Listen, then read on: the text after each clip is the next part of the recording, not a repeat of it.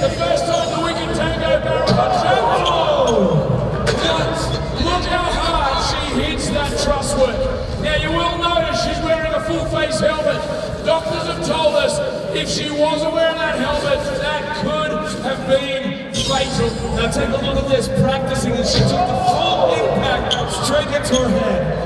It broke her eye socket, her cheekbone, her jaw, and her elbow. Now the good news she's had some surgery. Her eyesight's coming back. She's still got a few more operations to go for a complete facial reconstruction.